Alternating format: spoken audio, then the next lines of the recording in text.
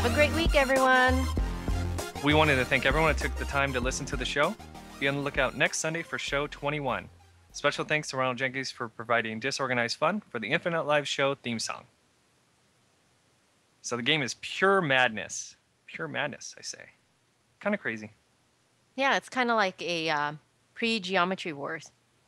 That is a good point. You know, to be honest, I've had this game for I don't know how long. Well, actually, I bought it when it first came out. Only ever made it to level three. well, um, I just think it's crazy considering there's only two polarities. Like, there's only two colors you have to worry about, two types of bullets you have to worry about. and I can't keep up. Seriously, there's yep. just so much going on, and only two colors. I know. It's crazy. I know. In fact, I think uh, if I remember correctly, see easy. I guess that's the, that's probably the mode or the uh, the difficulty level that I always played it on. But uh, but normal is where whenever you kill one of the enemies of the same polarity, they return fire. So that mm-hmm. that's it gets kind of crazy. But then hard, that's where I think everybody returns fire. Yeah, you have to be strategic about which one you shoot. Yeah. I have to admit, I've never played this game before. Mm-hmm. So I tried it out on easy. What's really sad is that I didn't know you could hold down the fire button. So I was tapping it the whole time and I couldn't figure out why I couldn't destroy anything. It was so much work. My arm was all sore the first time I played it. It was awful. Yeah, I can. yeah, if you don't hold the button down, it's just like a little pew pew pew pew pew. But if yeah. you actually hold it down, it's like. Yeah, it's pretty pathetic. Yeah, definitely. For me, I just I really like the concept of the uh, the different polarities, the absorbing, you know, the same polarity as whatever. Like if it's blue, you absorb yeah, the blue or white. Pretty neat concept. Super unique. I think it was cool. Very cool game. Yeah. Yeah. So, the retro game for this week is Ikaruga. So that's all I did for this week. Halo Reach. Played some of that. Actually, just uh, I'm starting to anticipate Halo 4. Nice. So, yeah, just playing some online multiplayer. Nothing like and getting excited about a new game. Very true. Very true. And in fact, I uh, I started doing some more challenges. So I think there was one where if you you just got to beat I think it's co-op, just one of the, the missions. I mean, they're making them super easy now, and you get like 15,000 credits. Do you remember when Reach first came out? You would do like this crazy, insane stuff, and you get like a thousand, and we're like, yeah. oh yes, it's so awesome. Yeah, now they're just dropping like 15,000 or 30,000 for a week. It's kind of crazy. I remember when I was excited about 3,000. It's like, oh my gosh, that challenge is 3,000. We have to do it now.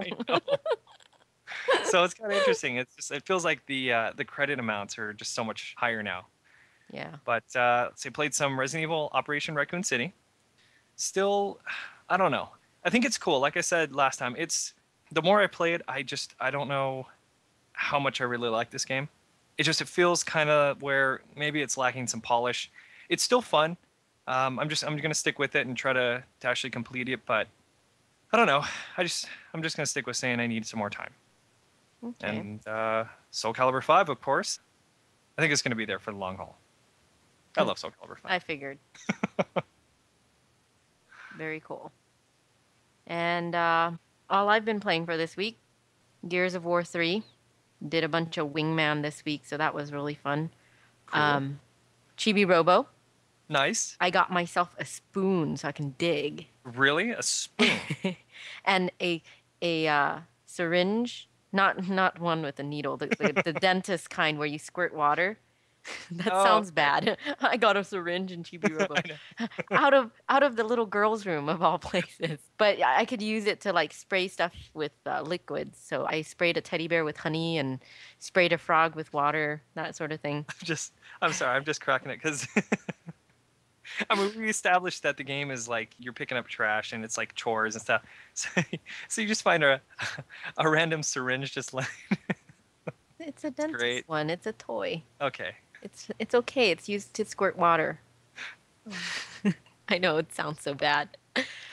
So cool. I've been doing a lot of stuff in that now that I have that and like planting flowers using my spoon and all that. So I was pretty excited.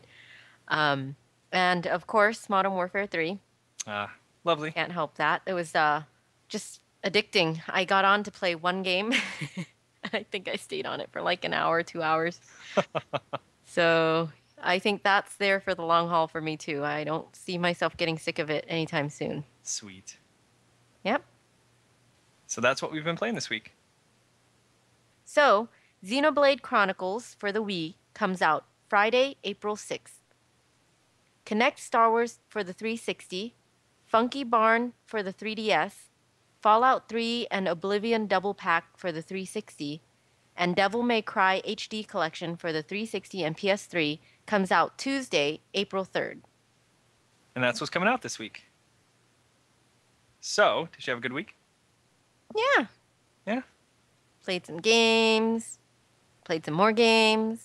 it was all good. How All about you? good. same, same, actually. Just been enjoying it. Enjoying life.